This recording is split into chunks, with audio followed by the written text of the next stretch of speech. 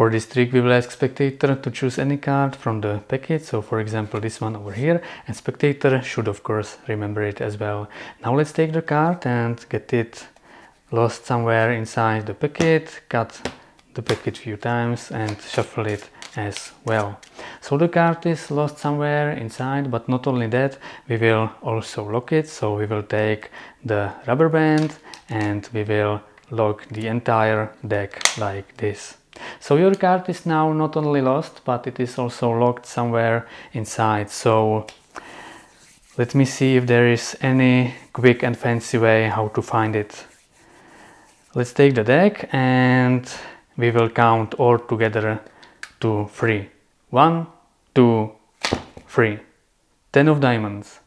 Was that your card?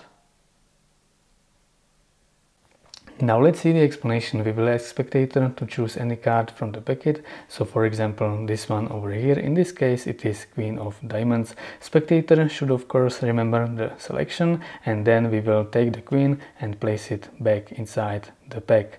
What we will do in reality is that we will not get the card lost, but we will control it to bottom. What I did in performance was that I was pushing card inside the packet and applying pressure with my thumb so that created a break and now I am using my thumb to maintain it and now I will transfer the break to my pinky like this so I have still break between the selected card and rest of the packet.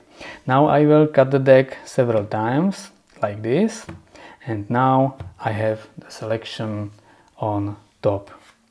I want it on the bottom, so what I did was that I shuffled the deck and the first card I peeled off was the selection and then I shuffled rest of the cards on it like this. So now I have the selection truly on the bottom.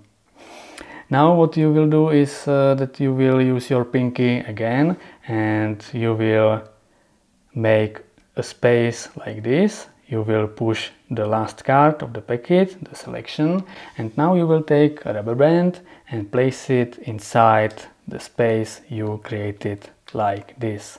Now you will stretch the rubber band, use this finger to pull it down. Now turn the rubber band to you and now finish it like this. And you have it done.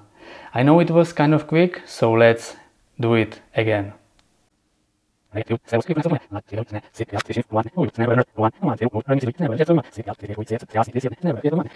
And now you will take a rubber band and place it inside the space you created like this.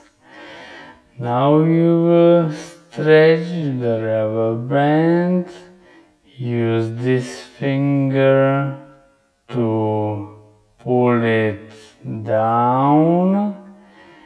Now turn the rubber band to you.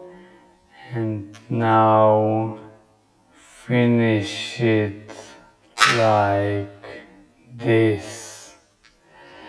And